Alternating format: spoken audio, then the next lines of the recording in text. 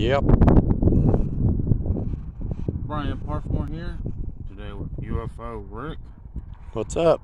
And today we're going to show you guys the one of the founders, the founder of Esther Price Candy Thrive, which is Esther R.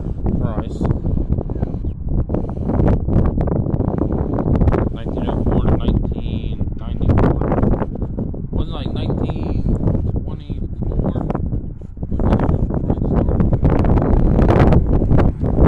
I.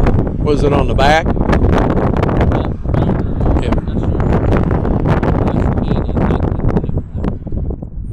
Cool.